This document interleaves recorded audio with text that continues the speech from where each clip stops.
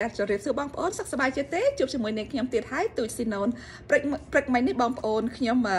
កំពុងតែថតថតនៅ CVS ខ្ញុំចត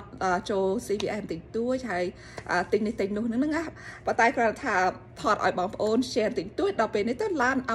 ឡានទឹក ខែឡានពន្លត់ភ្លើងបងប្អូនឡានទឹកទៅថាសម្រាប់ពន្លត់ភ្លើងពន្លត់អាគារអីហ្នឹងមកពីក្រោយទៅថាខ្ញុំនៅ parking lot ទេប៉ុន្តែខាងក្រោយនោះឡានទឹកច្រើនមែនតើដឹងទេបងប្អូនពួកខ្ញុំកូនខ្ញុំនៅខ្ញុំហ្នឹងក៏ឆ្ងល់ថាមិនក៏ឡានហើយឡានទឹកក៏ផ្លេទៀតបងប្អូនមិនក៏ផ្លេខ្ញុំមិនក៏ផ្លេអ្នកផ្សេងទៀតឬក៏នៅស្ទះនៅកន្លែងវាស្ទះចរាចរនៅខាងក្រោយ because វាមានភ្លើង stop ភ្លើងអី ដល់ពេលពួកខ្ញុំដល់ពេលហើយពេលកូនខ្ញុំចូល CVS ហើយពួកខ្ញុំចេញមកដឹងទេបងប្អូន there's a fire no um the high school because um um មកដើម្បីមកដល់សាលាខ្ញុំ in order for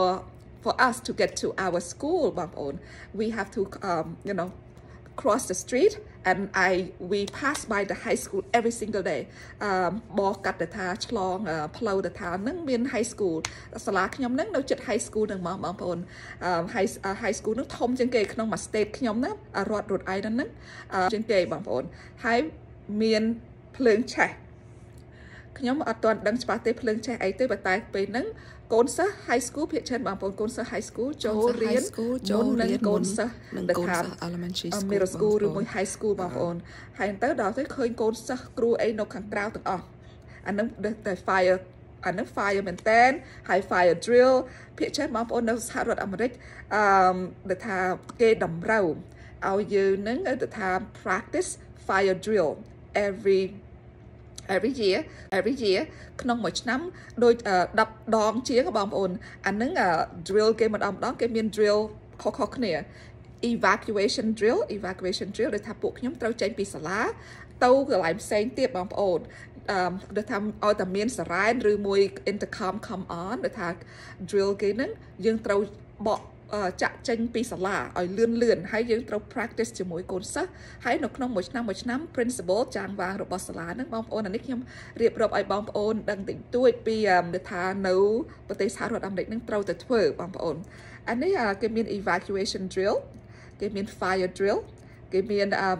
intruder drill intruder ដូចថាបើសិនណាគេចូលនៅក្នុងសាលាអឺដូចថាគោលបំណងគេដូចថាចង់ hurt អឺធ្វើបាបគ្រូឬមួយធ្វើបាបកូនសិស្សដែលថាភាគច្រើនណាគេមានអាវុធអីចូលក្នុងសាលាអីហ្នឹងគេមានគេហៅថា lockdown drill lockdown drill អូខេអាហ្នឹងដែលថាបិទទ្វារបិទអីទ្វារបិទអីបិទចាក់លឹះទាញអឺទាញ shade ទាញទាញទាញទាញ shade ចុះមកដោយថាវាំងណូនខ្ញុំអត់មានវាំងណូនទេនៅសាលាខ្ញុំ ខ្ញុំមាន shade shade ខ្ញុំទាំងអស់នោះបងប្អូនទាញអក្សរសនេះត្រូវបិទទាំងអស់ឬមួយបើសិនណាមាន blinds អាអា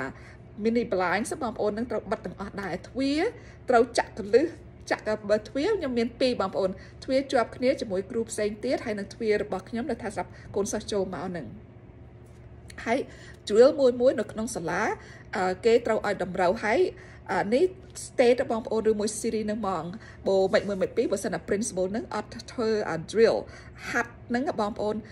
សាលានឹងឬមួយ series នឹងអាចគេថា fine ត្រូវ pay លុយបងប្អូនអត់បានទេអានេះដែលថាគេចង់ការពារសុវត្ថិភាពឲ្យកូនសិស្សទាំងអស់ឲ្យអ្នកដែលថាធ្វើការនៅក្នុង building នឹងពេលភ្លើង ឆេះត្រូវធ្វើម៉េច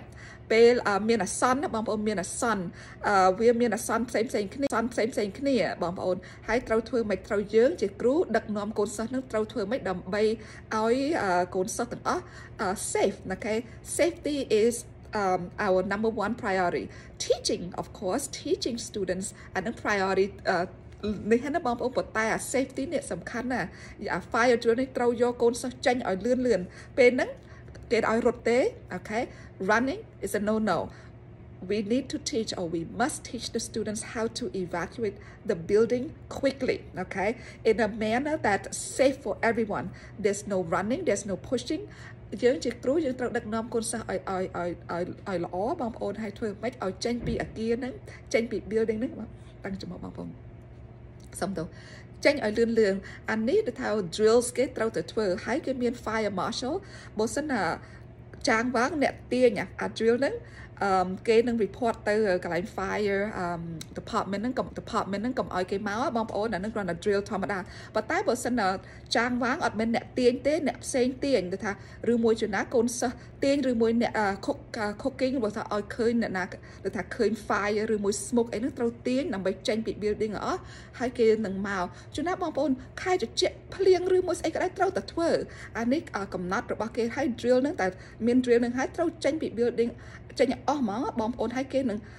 មើលនៅក្នុង building ថ្នាក់មួយមួយទៀតបងប្អូនដោយសារយាយបងប្អូន ឆ្នាំណានោះអ្នកធ្វើការរួមថ្នាក់ជាមួយខ្ញុំអឺចិត្តខ្ញុំហ្នឹងហើយគាត់អត់ចេញហើយទៅគេស្ដីឲ្យបងប្អូនអត់បានទេយើងត្រូវចេញពី building អានេះខ្ញុំចង់ចង់ចែកចាយដល់បងប្អូនតិចទៀតអូខេបងប្អូនអានេះខ្ញុំទៅយកកូនសិស្សសិនដល់ម៉ោង